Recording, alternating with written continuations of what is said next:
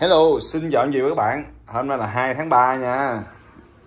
Mới về cây 67 line New Đó.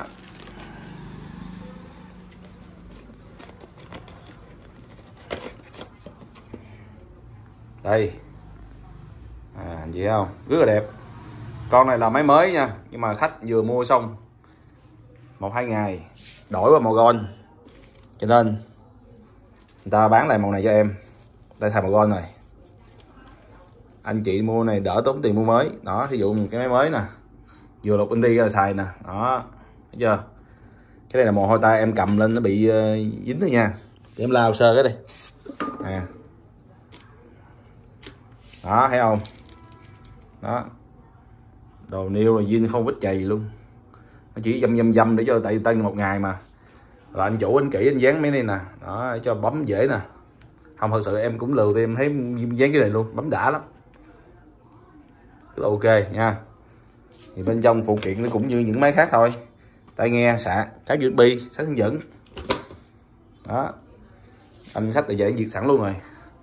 Nói chung anh anh nào mua chỉ về xài thôi đó. Không lo gì đó đó mở thử nè. Đó, quá đẹp thấy không? Đó vỏ là không chê đâu được luôn. Đó quay cận cảnh chùi ra như vậy đó. Bạc bóng thì nó bị hơi bị dính mồ hôi tay thôi. Còn bạc nhám thì nó không có dính. Mỗi người mình sở thích. Nhưng thật ra nếu mà nó đối đúng màu thì ờ, nhất gold nhì màu này. Ba nâu.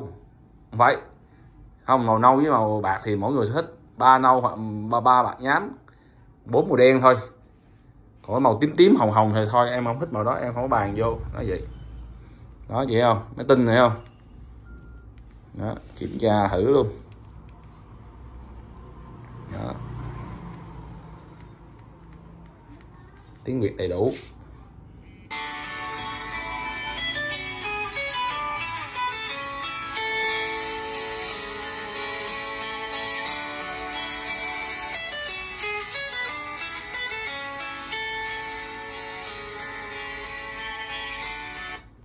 Anh nào thích để xài, mấy nút để xài luôn.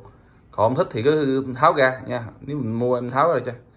Còn mà để luôn bấm đã anh chị nè. Em lâu lâu em đầu tiên bấm mấy cái nút này, bấm đã lắm. Thì nó bị dày, để đội lên đó, bấm sướng lắm. Đó, nè.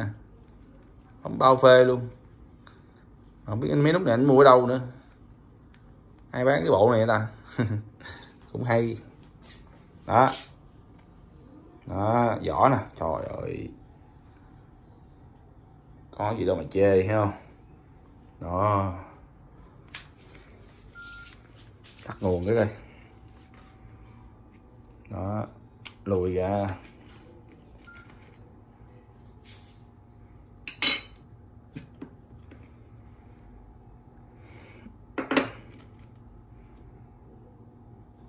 Đó, bên trong.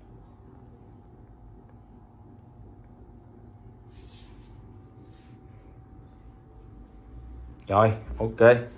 Anh nào thích alo cho em, nha. Lâu lâu có một cây lai niêu à.